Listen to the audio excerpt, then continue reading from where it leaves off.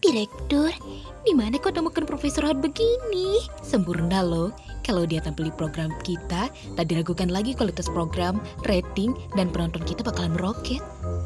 Kalian berdua tenang dulu dong. Aduh, ini sakit tahu. Aduh, aduh, aduh.